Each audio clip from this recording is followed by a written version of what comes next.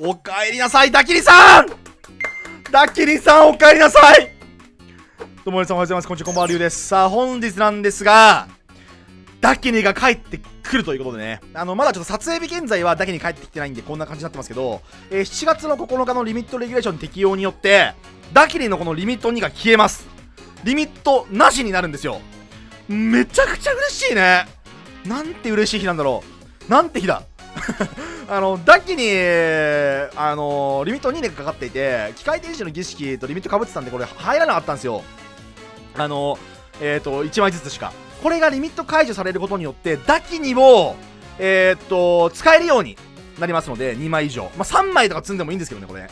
なので、今日は機械電子がどんくらいなんかやれるのかなって思って、えっ、と、デッキ組んできて、まあ、ローリミットデッキで今回した様子をね、あの、この、多分今日、この動画公開する日がリミット適用になってると思うんですけども、あの、これ、多分、この動画公開する今日はもうこのデッキ使えますから、ぜひね、皆さんもね、ランク戦チャレンジしてみたい、見ていただきたいと思うんですけども、回ったら強い相変わらず。イダテンペンテンできたらめっちゃ強いから、このデッキ。で、まあ、あのー、ギミックは本当に変わってなくて、基本的には。あのー、イダテンペンテンして、なんとか頑張ってね、あのー、戦時とか、まんじゅう早くよこせって話なんだけど、えー、っと、サイバープチェンジェルとか、えー、ゴッドで、頑張って、えー、っと、持ってきてイダテンペンテンを。で、イダテンペンテンで儀式して、で、イダテンペンテンからだけに出して、みたいな感じで動いていくって感じですね。で、イザナはマジで使わなかったから、イザナ抜いた。あの、はい、あの、入ってなくても多分いける。で、えっ、と、スキル儀式の使い手2にしてるんですよ。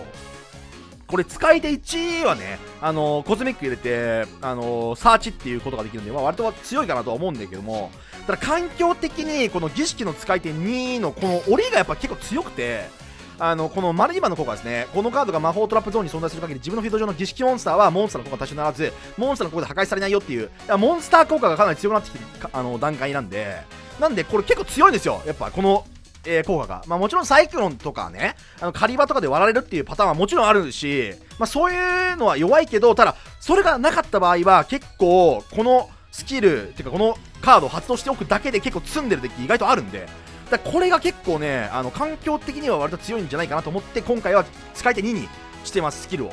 だから、儀式魔法とかも結構多めにしてね。で、やっぱり、やっぱりね、やっぱりバックは辛い。どうしても。あのー、因果切断がとにかく辛い。狡猾はまあ、あのー、儀式でなんとかなったりするけど、まあ、あのね、因果切断とか、あと、環境で言うとなんだろうな、まあ、設理とか、で、なんかその、初動止められるとか、が結構辛かったりするんで、まあ、やっぱ2枚くらいはバック除去あった方がいいなと思って、えー、入れてます。ここなんかなくてもよければね、もうちょっとね、あのー、安定感出せると思うんだけど、デッ基に。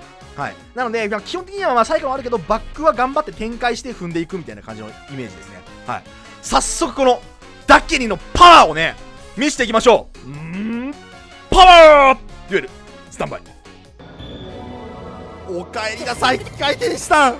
おかえりなさい、ダキリさん。あ、ダキリ来すぎ。ダキリ来すぎだろ。ダキリ来すぎだろ。俺こんな来なくていいんだよな。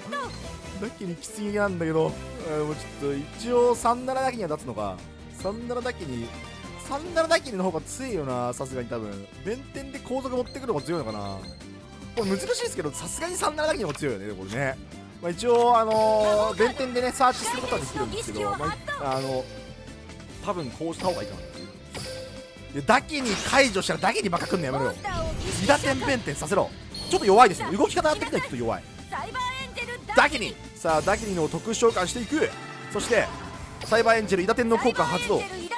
儀式モンスターの攻守を1000アップさせるそしてダキンの効果によって2打点を回収さあこれが機械天使最強ムーブちなみに儀式の檻っていうこのカードの効果によって相手の、えーと、フィード上のモンスターの効果の対象になりませんし、えーと、ダキンが。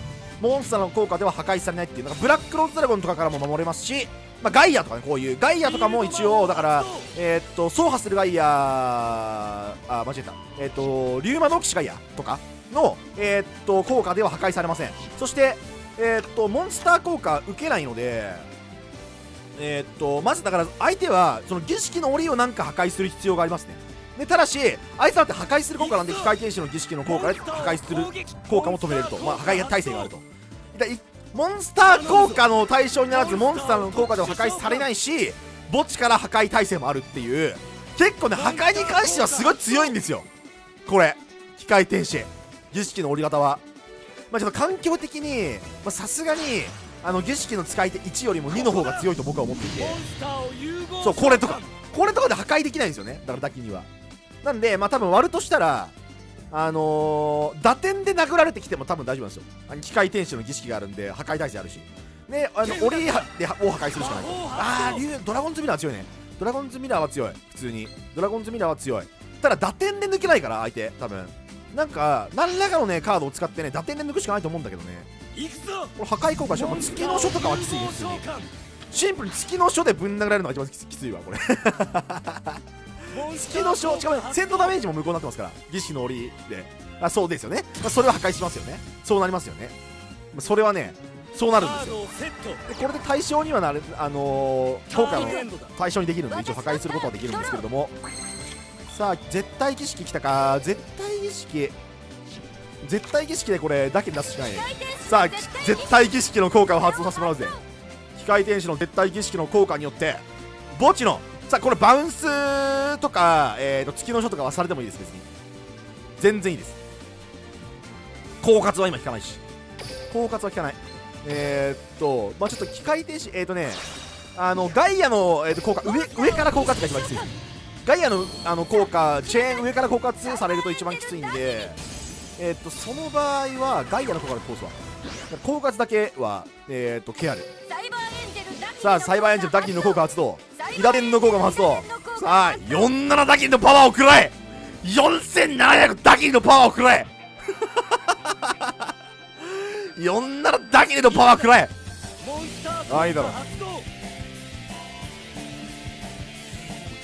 これでも別にいいぞあでもこれこれ使ういやこれでもさすがに使うか。使う。狡猾だったらやこれすげえ裏目なんだけど。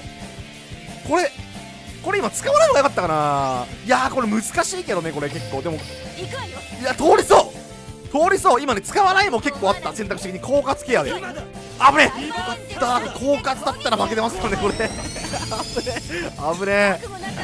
危ねえ。いや意外とプレイングあります。対戦。ありがとうございました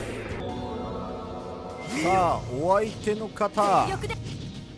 えー、っと青い青姫の男ですね。うんとねあの1個だけ海馬くんあのマジのお願いあるんですよ。マジのお願いあるんですけど、まあ、それは全然いいです。それは全然いいんですけどあの俺も別にいいんですよ。あの因果切断だけマジでやめてもらっていいですか？因果切断だけガチでやめてほしいっす。お願いペースで恐縮なんですけど因果切断だけ本当にやめていただいてよろしいですか？太鼓はい。請願出すよいい。わはい。オッケーオッケー。それもね全然いいですよ。そういうのは全然いいんですけどちょマジで因果切断だけやめてほしい。弁天伊賀天弁天はできるんですよねでも。一応。伊賀天弁天ああーこれ光ってるからこれ因果切断じゃないねよし因果切断じゃない。よかったお願いベースで儀式していくしかないから。あの請願相手は。マジでちょっと本当に因果切断やめてみたいな。こと言いながら儀式していくしかなくて。イカ天弁天っていう魔法の呪文さあイカ天弁天の効果発動。さあ弁天の効果も発動していく。さあ弁天の効果によって光属性転速モンスターを1体手段加える。これでオネストとかをね持ってきたりとかあの OCG の方ではねするんですけど。オネストとマンジゴット欲しいですね。まあちょっとオネストはねあのー、機械電子だけじゃなくていろんな機械電子属性デッキのあの音になっちゃうんでまあちょっとやりすぎかなと思いますけどマンジゴットはマジで欲しいですね。マンジュコットは本当に来てもいいと思う。もうもう正直来てもいいパワーだと思う環境的には。なんかやばいデッキあるかな。まあベンデットとかまあ、まあ、普通に強いけど、まあ、因果切断とかそんなに入ってないんで今デッキの中請願くらいしか。なんでまあそんなにいいかなと思いますけど言うてマンジュコットってなんか来たらやばいこと起きるかな。まあやばいことは起きるデッキはありますけどね普通に。あるんですけどいやでももう来てもよくねえかなこの環境あったら。なんかもっと全然やばいことしてるデッキいっぱいあるからさ。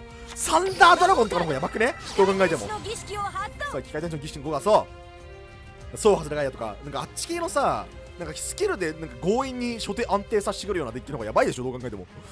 マンジコットが許してよ。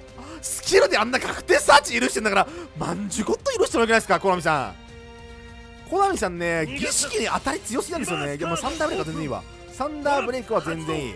であーなるほどね。そういうことね。でも俺ちゃんと持ってきてるからちゃんと持ってきてるんで、えー、とダキニの効果使ってプチと,、えー、とイダテンをリリースして37ダキニを出していく。さあサンダーブレイカーなんていう甘えたカード入ってからぞ因果切断にしとけそこ。因果切断だったら多分負けしたけど。多分因果切断だったら負けした感じあるけどさあイダテンの効果とイダテンの効果によって3700打点のだけにが立っていく。おらしゃーしゃおらしょらえっとイダテン。減点であるしね。イダテン2枚あるしまあ多分次のトップイダテンあ弁天確率も高いと思うんでイダテン弁天できるようにイダテンを回収しておく。オッケー。で37だけにはなかなか抜けない。で多分この手札にブルーアイズ引いてきて太鼓除外ブルーアイズからの融合くらいしかまあ一応あの書いておくこともないかなと思いますけどね、うん、はいはいチューナー引いたね。オッケー。チューナー引いたで太鼓、えーと、貫通します。貫通するんですよ。ご存知ですか？あこれえっとじゃあもう1体立てればいいからまあ絶対意識で弁天か伊田天か出しておけば伊田弁天か伊田天か伊田天を出しておけばいい。サイバーエンジェル伊田天がフィールド上に存在する場合自分のフィールド上の儀式モンスターは全て貫通能力を得る。いけ よしよしよしよしよしよしよしよしよしよしよしよしよし強いぞ絶対あるから別に機械検証の儀式でいいよし分からしていけぶっ殺してやるダッキリの貫通能力を食いな PK サイバーエンジェルダッキリの攻撃しゃあいや、ま、回ったら強いね回ったら強いけどちょっと本当因果切断だけ本当にやめてほしいって感じさあお相手の方海馬くんいただきに立つものなるほど。さあどうやって僕のデッキを目立ってくれるんだい？リフレクター。ほう。いいだろう。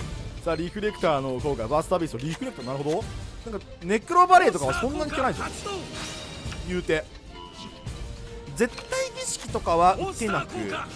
えー、っとなんのかな？でも多分墓地のカードを移動させる効果が確か無効になってるみたいな感じは絶対儀式で墓地からの儀式とか素材を、えー、っと敵に戻すっていうパターンは多分できるんじゃないかっていう話はあるな。さあえー、っとバスター最激にフレクタ召喚バスタービーストでブラックローズドラゴンぶっ破する。えブラックローズドラゴン？どういうこと？あぶっ破しない？ダウンビート？どういうこと？謎すぎる。何このデッキ？